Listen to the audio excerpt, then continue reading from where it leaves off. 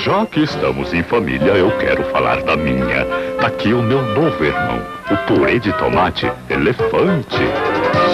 O purê elefante é tomate vermelhinho e puro. Já vem no ponto certo para você fazer um molho muito mais gostoso e suave. Palavra de elefante. Purê de tomate elefante. O purê pureza. Quanto a senhora exige, mais o elefante oferece.